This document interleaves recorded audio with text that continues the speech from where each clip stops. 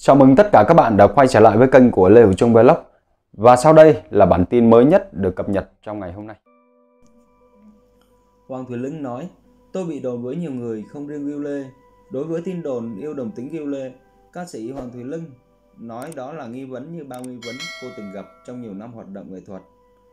Tại họp báo công bố phát hành phim Trái tim quái vật diễn ra sáng 14 tháng 10 Hoàng Thùy Linh chia sẻ về cuộc sống thư giãn của mình. Hiện tại cùng tin đồn tình cảm với Quang cô.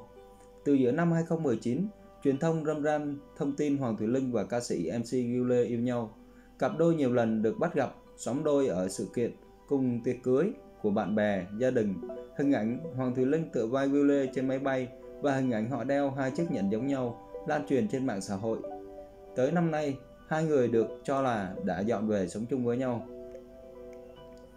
Vì đang trong sự kiện của phim, Hoàng Thùy Linh không muốn đời tư cá nhân trở thành tâm điểm lấn át tác phẩm. Cô chỉ cho biết cô có rất nhiều bạn cũng từng vướng vào tin đồn tình cảm trong showbiz. Nhưng không phải mỗi lần chơi thân với ai hay bị đồn cặp kè ai, cô cũng cần lên tiếng giải thích. Giọng ca để mình nói cho mà nghe, mong khán giả tôn trọng thế giới riêng tư của cô. Cô tâm sự, người như tôi rất khó được hạnh phúc. Để được như bây giờ tôi đã nỗ lực rất bền bỉ. Là người của công chúng, Hoàng Thùy Linh không ngại việc nhiều người quan tâm hay tò mò chuyện riêng tư của cô. Cô chỉ lo lắng tin đồn làm ảnh hưởng tới bạn bè và người thân của bạn bè hoặc biến cô trở thành người phức tạp trong mắt người khác.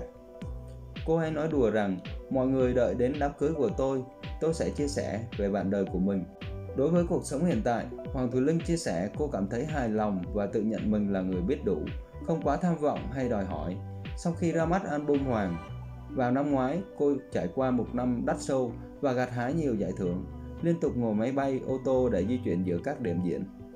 Khép lại những ngày bận rộn, trở về với cuộc sống đơn giản và vui vẻ của mình, cô thích ở nhà cả ngày để cắm hoa, chăm mèo lâu lâu, cô cùng bố mẹ ăn cơm hoặc tụ tập bạn bè, nói những câu chuyện phiếm đời thường bên ngoài công việc.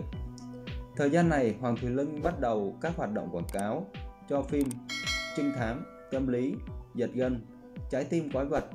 Trở lại điện ảnh sau 7 năm, từ sau phim Thần Tượng, cô vào vai một người mẹ đơn thân, có quá khứ bi kịch và trở thành một người trong các nghi phạm của các vụ giết người.